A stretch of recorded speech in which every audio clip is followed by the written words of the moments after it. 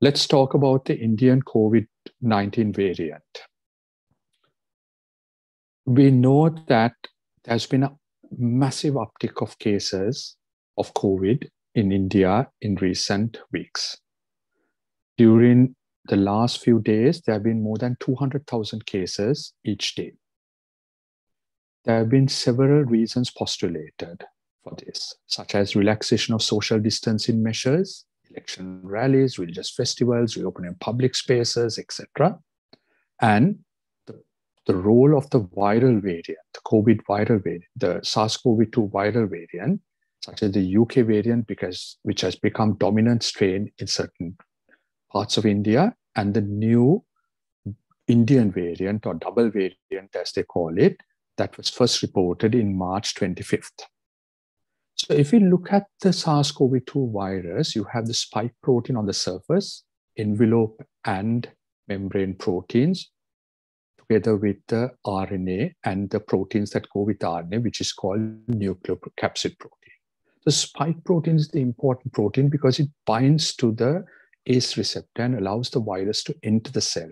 So changes in the spike protein are extremely important, especially in a region called the receptor binding domain. That is the area that binds to the S protein to allow the virus to enter the cell, multiply, and then spread from one cell to another, and then spread from person to person.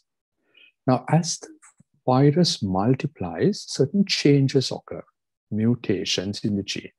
Some of the changes of no effect, some are disadvantages to the virus, but some of the changes are important as it causes the spread of the virus and other effects.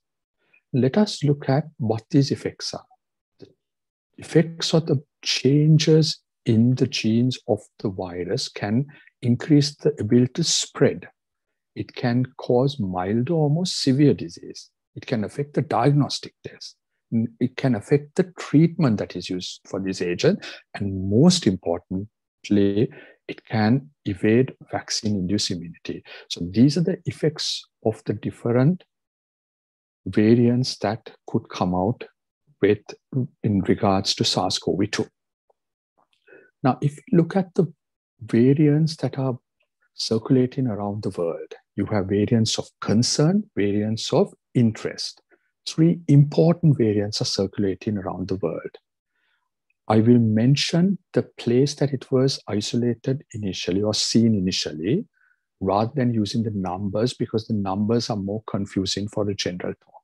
So you had the UK variant or the Kent variant, the South African variant, and the Brazilian variant. And you can see that there were similar changes in all three variants in 501Y. That is a important mutation, all three variants. And then there two of the variants have the E484K mutation. Now, these have different effects. The N501Y will increase viral transmission.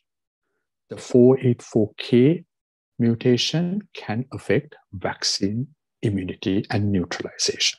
So these are the variants that are found circulated around the world, including in India. If we look at the figures from India on the 25th of April, 15,135 samples of sequence. There were 1735 variants of concern. The UK variant was prominent, South African variant was seen, the Indian variant, and you had the Brazilian variant. Now, what is this Indian variant? And this is what I'll try to explain in the next few slides. So you had the original strain of the virus that originated in Wuhan, and then subsequently, early last year, you had the D614G strain that came up. And then you had the different strains coming up uh, with the months uh, in the months uh, that followed. At the top, you had the B117, that is UK. Then you had the South African. Then you had the Brazilian. You had the New York. You had the Californian strain. And then you had the Indian B1617. Now, if you look at the gene structure, have different genes that are found in this virus. Had the open reading frames on the left hand side, and that is open. Then you had the structural genes like the spike protein gene, which ultimately gets changed to producing the protein, which is found in the figure below. So these changes can occur in different parts of the viral genome or the genes of the virus. And you can see I've given put it in black, the changes that are specific for the Indian variant. The Indian variant, and that is in the open reading frame one, uh, A, B, etc. And this is the amount, these are the variants that are found.